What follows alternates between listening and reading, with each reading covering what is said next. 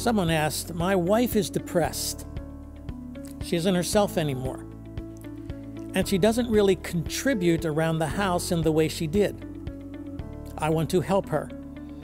But I'm also frustrated with her. How do I help her? You know, it's often difficult in marriage when one or the other spouse disappoints the other. It's difficult when our expectations are not met. When suddenly, or maybe even progressively, things change. Attitudes change. Heart attitudes change. Functionality changes. And we find that our spouse is becoming weaker in areas maybe we took for granted in the past. In any marriage, there are expectations that a man has of his wife and a wife of her husband. And they're not the same for every single marriage, they're different depending upon the personalities involved. Clearly, in this particular case, your wife is struggling with something.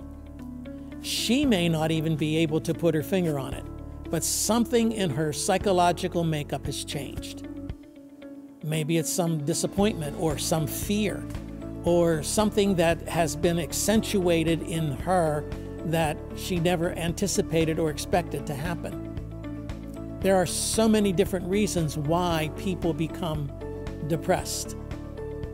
The question for you is how do I help her? What do I do to minister to someone who is struggling with depression, where the expectations are not being met and where frustration has set in.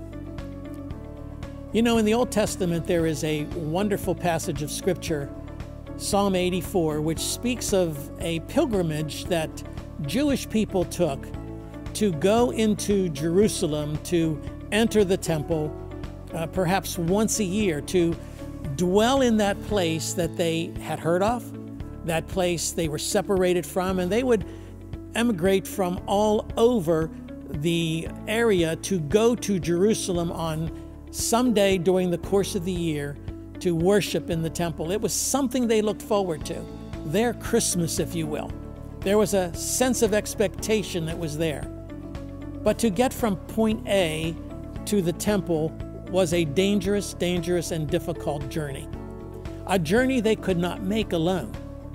A journey they had to either travel in groups or with a dependence upon others to help them get through these dangerous points, places where they could be robbed or even murdered.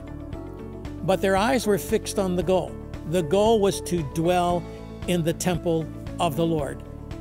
The imagery in Psalm 84 even talks about how the traveler, the pilgrim, saw the birds nesting in the temple and how beautiful it was to spend one day in the temple than a thousand days anywhere else.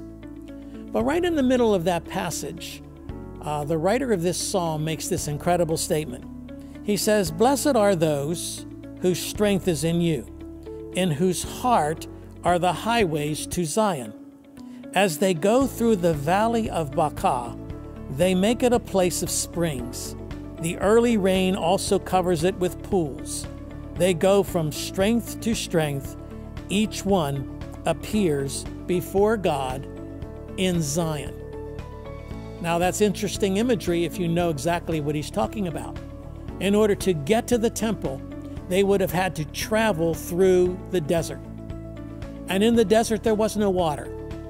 Uh, it was a long, arduous journey. And what would happen in the desert is that there would be these sudden storms, these sudden downpours, and pilgrims would dig holes so that the water could collect in those holes. And they would drink out of those little ponds that were made by these sudden storms.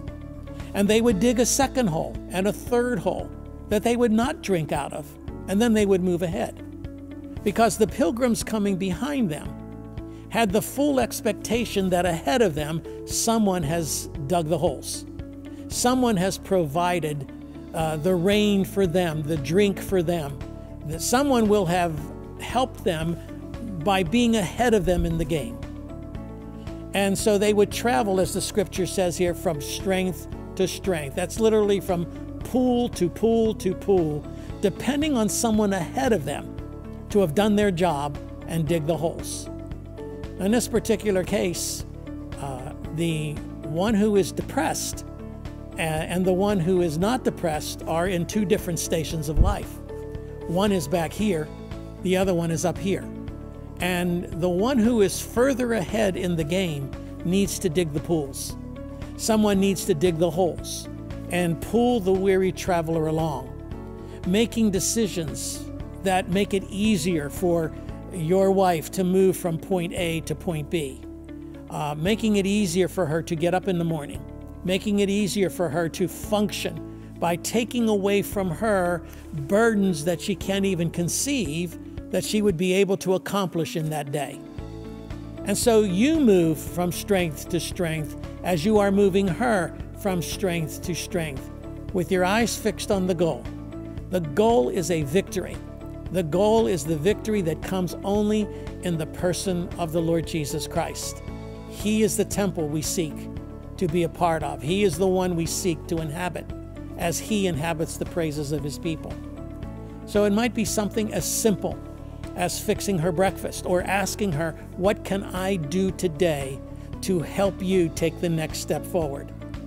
Rather than becoming disappointed and frustrated and maybe even angry with her, perhaps you can look at what you can do, what you can do to dig the holes that are necessary for her to find the refreshment in the desert she finds herself in. Friends, that's what marriages are all about. It's when one is weak, the other is strong. When one is strong, the other is weak. And we build, we complement each other, and we pull each other along as we learn to dig those holes.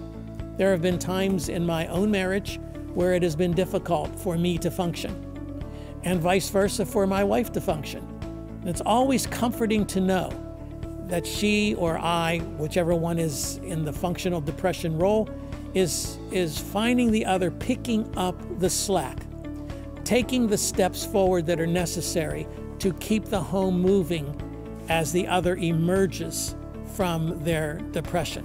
That's what marriage is all about. It's uh, one pulling the other along, digging those holes, filling those holes with the necessary nutrients that will help to build the marriage and help that functionally depressed person to move along in the next step. I want to encourage you that's what love is all about. That's how Christ has loved us.